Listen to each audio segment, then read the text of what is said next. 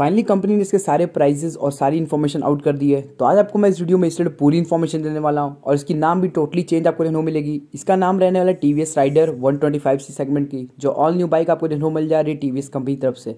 तो पूरी इन्फॉर्मेशन आज आपको इस वीडियो में मिलेगी। उससे पहले चैनल पर जो लोग भी नए होंगे चैनल को हमारे ज़रूर सब्सक्राइब कर लें। इसी तरह के लेटेस्ट अपडेट सबसे पहले पाने के लिए।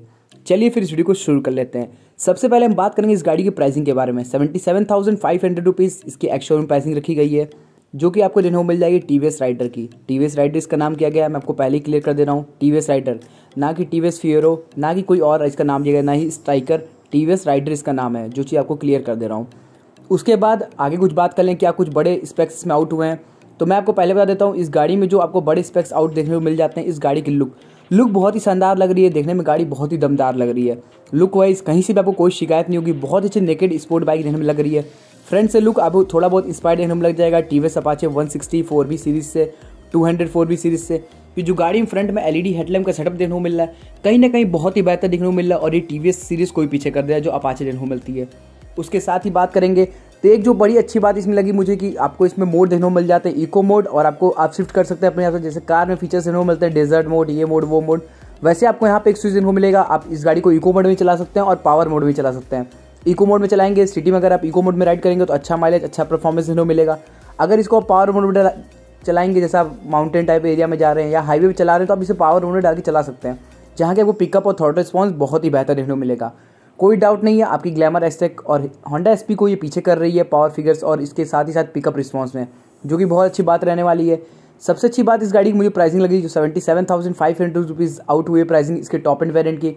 तो अगर आप देखेंगे तो जो आपको प्राइसिंग को मिल जाती है, कहीं ना कहीं बहुत ही बेहतर कंपनी ने प्राइसिंग निकाली है। अगर आप वहीं पे होंडा एस देख लेंगे या हीरो की ग्लैमर देख लेंगे तो लगभग उनसे दो से तीन हज़ार रुपये तीन हज़ार रुपये के आसपास सस्ती पड़ जा रही है, जो कि कहीं ना कहीं एक बहुत अच्छी बात है। तो लगभग इसकी जो टॉप एंड वेरियंट जाएगी, लगभग आपको 98 के आसपास ऑन रोड कॉस्टिंग करेगी, और जिसकी ड्रम वेरियंट रहेगी, वो लगभग 96 से 97 के आसपास कॉस्टिंग करने वाली है। बाकी आप लोग अपने नियर बाई शोरूम में एक बार बिल्कुल कॉन्टैक्ट कर सकते हैं। हाँ ये गाड़ी शोरूम में कब तक पहुँचेगी? शोरूम में लगभग पहुँचने में आपको लगभग दो हफ़्ते के आसपास का टाइम लग सकता है। लगभग दस दिन के अंदर अंदर आपको शोरूम से अवेलेबल हो तो दिख जाएगी। मीटर कंसोल की बात करेंगे तो मीटर कंसोल में ब्लूटूथ की कनेक्टिविटी देने को मिल जाती है। जो आपको कनेक्ट फीचर देने को मिलता है टी कंपनी की तरफ़ से, जो आपको अपाचे टू हंड्रेड फोर में देने को मिलता था एंड टॉर्क में देखने को मिलता था सेम यहाँ भी कंटिन्यू किया गया है। आप इसको फ़ोन से कनेक्ट कर सकेंगे। वॉइस कमांड काम करेगा गूगल नेविगेशन मैप काम करेगा।